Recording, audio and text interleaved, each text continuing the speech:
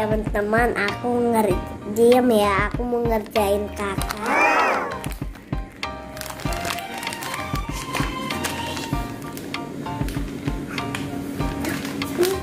Nih teman-teman ketemu mainan kakak.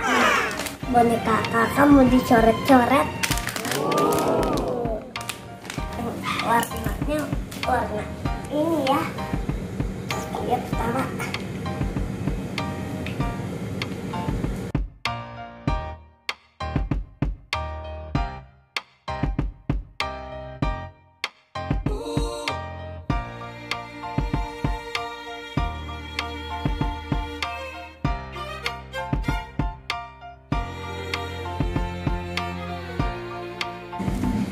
kalau ininya mau ada warna kayak yang ini ya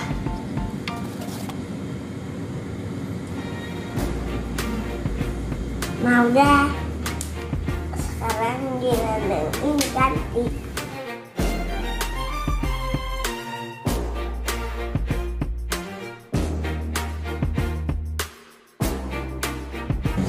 Ini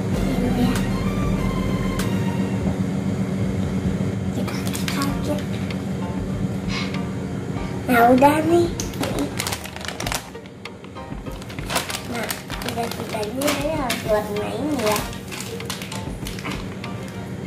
nah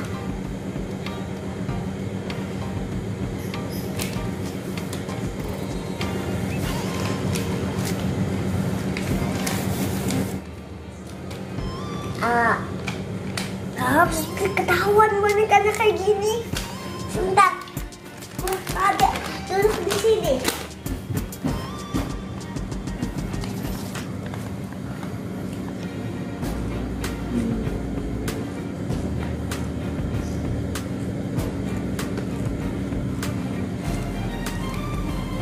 Teman-teman udah berantakan nih mukanya.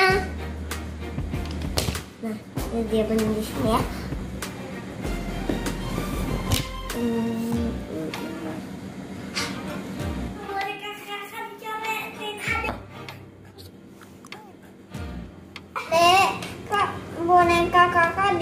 Dicoret-coret?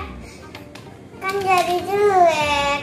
Ya maaf, Kak. Kan jadi kotor, Dek. Ih, adik mah. Iya, Kak. Adik, sorry, maaf.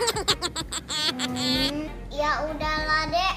Kakak bersihin ini sendiri aja. Adik, adik boleh main, tapi jangan coret-coret boneka kakak lagi. Coret-coret itu di kertas. Nanti patah loh. Teman-teman, karena boneka aku kotor, dicoret-coretin sama adek. Aku mau bersihin dulu. Sayang kan, ini kalau dibuang masih cantik udah dibuang. Aku punya cara kok untuk ngebersihin boneka kita. Ngebersihinnya nggak susah kok teman-teman karena kalian tinggal bersihinnya pakai odol dan kapas. Ayo kita coba. Pertama kita coba boneka ini teman-teman. Yuk sekarang kita pakaiin kapas.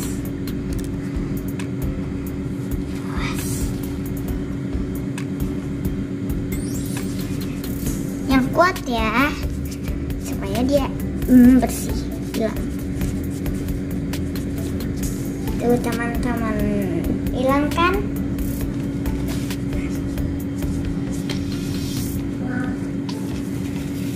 Masih ada di lehernya. Nah teman-teman bagian wajahnya sama lehernya udah bersih nih. Nih bagian kotornya. Udah nempel kan di kapas? Sekarang kita bersihin satu lagi Kakinya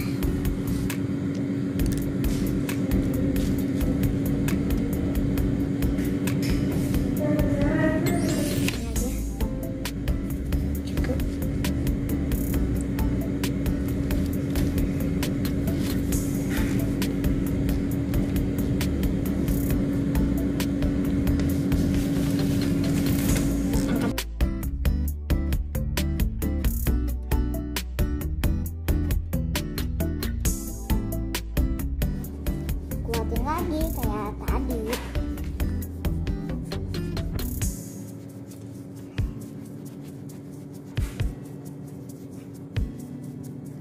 Teman-teman, ini masih kotor banget nih teman-teman.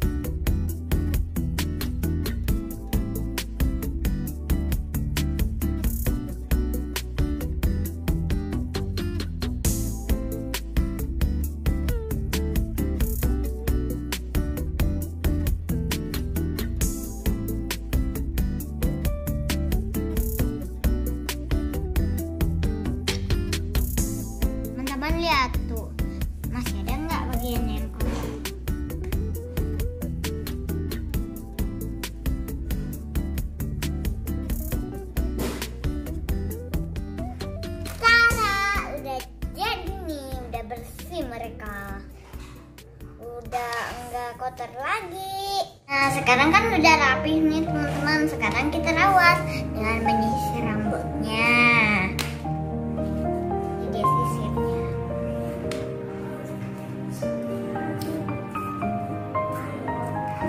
Rambutnya. Teman-teman, mudah banget kan ngebersihin boneka kalian. Kalian juga bisa coba di rumah. Nah, dia udah cantik, imut lagi. Seperti biasa, kulitnya